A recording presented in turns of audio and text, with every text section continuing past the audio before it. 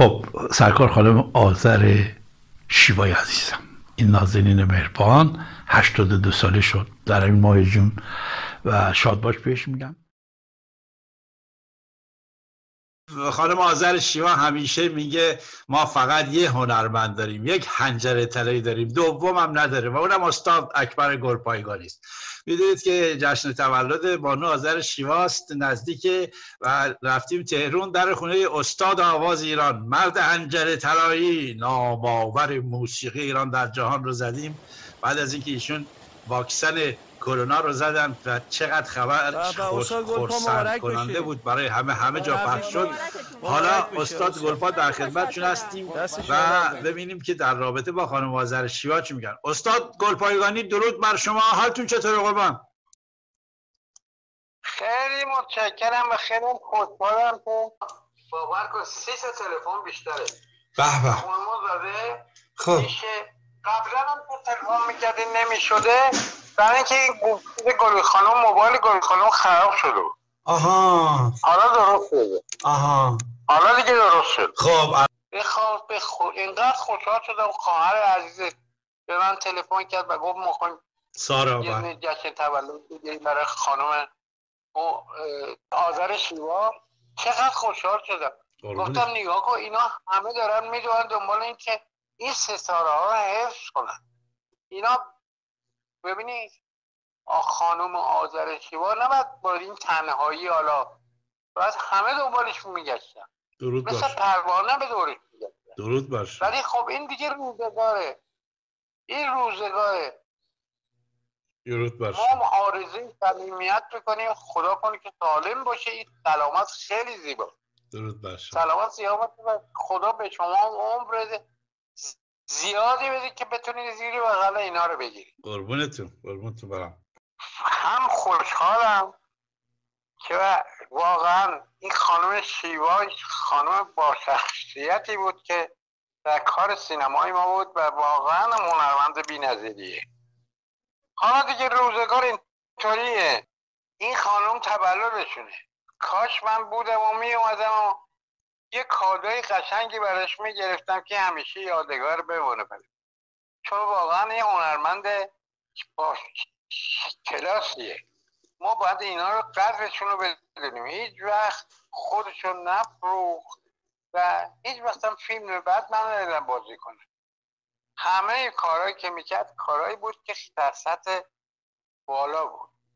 امیدوارم که سالم باشه خوشحال باشه مریض نباشه. این چیزایی که ما می‌تونیم بکنیم. چون مردم هیچ وقت فراموش نمی‌کنن این هنرمنده رو.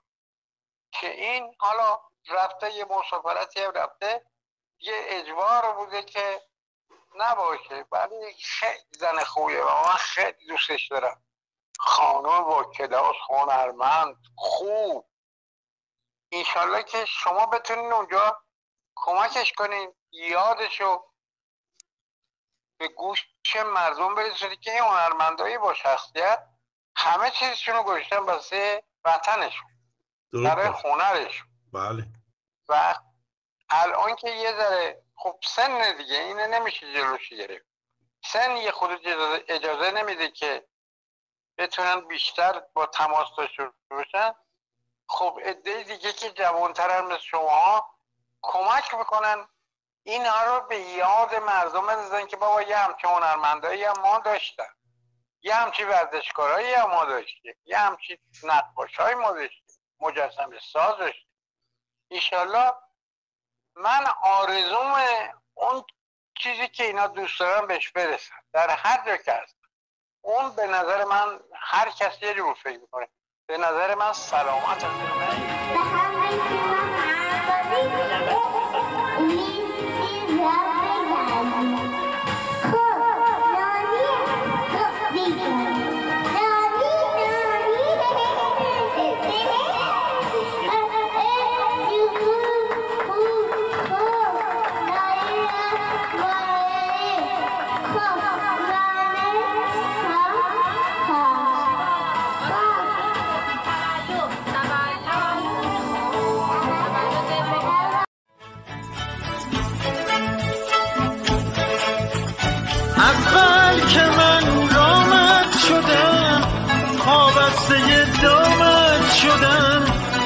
عاشقترین بودی برایم حالا خرینم بهر تو رنج آفرینم بهر تو. کم خنده کن بر گریه ها اول که من رامت شدم پابسته دامت شدم. عاشقترین بودی برایم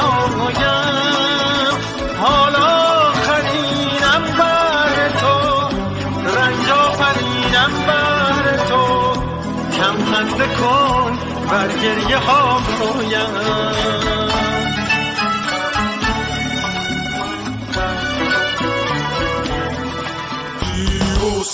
بسا بنگر به راه پویاند بر این گراهی دوست آوا بسا بر ما نظر کن کارهیم زین گمراهی.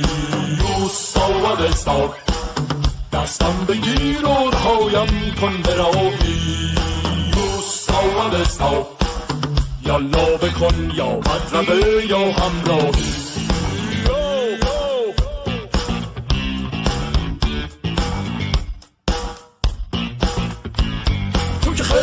کنی و رشت از آین مهری چرا کم لطفی با خود زنی و با ما بی مهری میگی منتصب به جد فرمان آزادی میگم آزادگی را بکن تو مخجال سازی.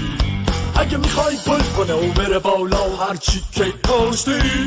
ببین حالا کجای راهی ولش کن. هرچی کاشتی. و ساول استار تو همچو ما ره به دادار یکتایی. دوستا و بستا یالا بگو برات بخونم دعایی دوستا و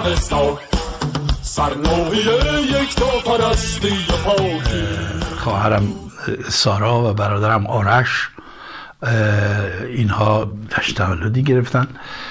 من می‌خوام اینجا از شهردار شهری که آذر در اونجا سپاسگزاری بکنم. بتون امروز می‌خوام اینو بگم. حالا نمی‌خواستم یا حالا الان بهتون میگم. ایشون چندین سال بود که خیلی سخت زندگی می‌کرد. خونش امکاناتش خیلی سخت. و حتی یک مدتی ایشون پنهان شده بود که حتی منم نبیدمش که نخوام بهش کمکی بکنم. بیر بهتون بگم. رویش اینقدر بزرگ.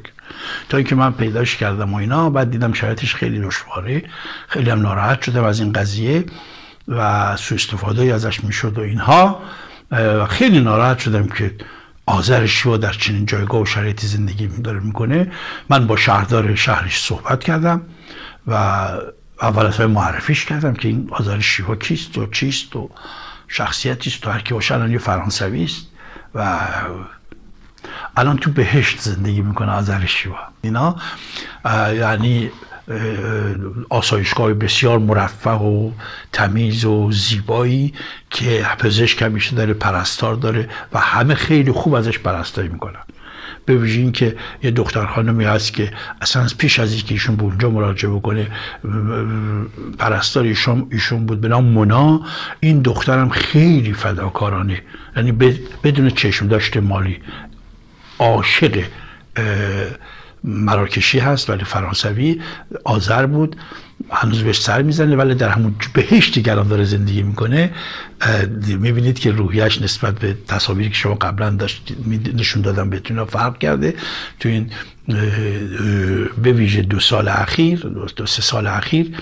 و من می‌خوام اینجا از دوست نازینم که شهرداره شهری است که سرکار خانم آذرشی اونجا تشریف دارن سپاسگزاری بکنم که به درخواست من پاسخ داد. همون موقع وقتی من ازش خواستم برای من نامه نوشت و گفت از اینکه آذر رو به ما معرفی کردی ازت متشکرم سپاسگزارم. و بعد کلیه تمام تیم که هست در هر شهرداری داره اینو که به افراد مسلم نیستن با من تماس گرفتن و تشکر و خلاصه آذر الان داره در بهش زندگی می‌کنه. توف بر این تاریخ بر این زمانه که شخصیتی به این بزرگی یعنی منم تو هیچی هم نمیپذیره وقتی من براش با کادر چیزی می‌بریم اینا یا میخوارم یا برادرم اصلا هیچ کادر نمیپذیره. یعنی شخصیت بزرگ و والایی داره. ولی خب این حقش بود که آسوده باشه پس از این همه خستگی ها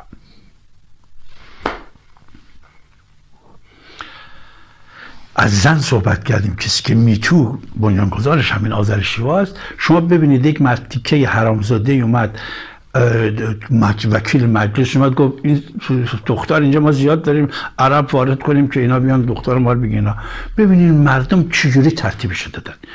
خودش و ماشینش فرار کرد اینو خود شما ترتیبش می‌داد